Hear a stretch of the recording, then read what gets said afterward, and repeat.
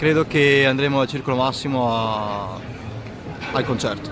Ok, ma siete di Roma? No, siamo di... del Veneto. Cosa ti aspetti per il 2024?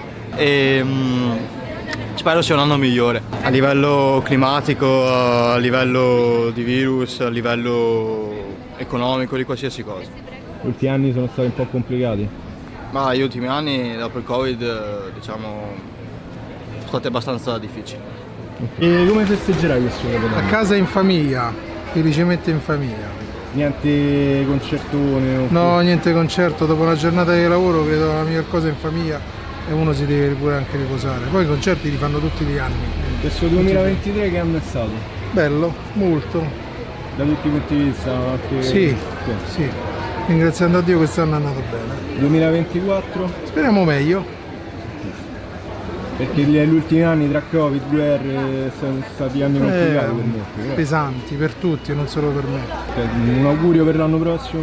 E che sia pace in tutto il mondo e che non soffrino bambini e donne, specialmente le donne che sono massacrate.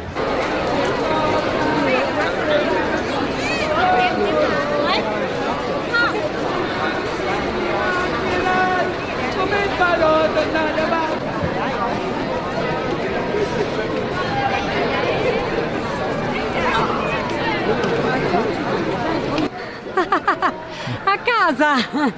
Che anno, che anno è stato questo 2023? A me è piaciuto, il 23 è un bel numero, a me piace molto. Meglio rispetto agli ultimi anni Covid? Eh beh sono- sì, certo, anche Sì. perché insomma quest'anno è andata meglio da quel punto di vista.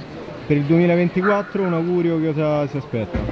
Po' più di saggezza nel mondo, un po' più di buonsenso e come al solito salute per tutti. C'è un po' di preoccupazione per queste guerre, queste Eh, secondo me sì, soprattutto i giovani, noi forse siamo un po' più grandi, ma i giovani credo che siano abbastanza appesantiti da quello che sta succedendo intorno. Andiamo a un ristorante siriano perché noi siamo siriani, quindi passiamo la serata lì. Allora, non posso dire che è stato un anno peggiore, però andato finalmente perché è stato abbastanza brutto, però Sempre ringraziamo Dio per tutto.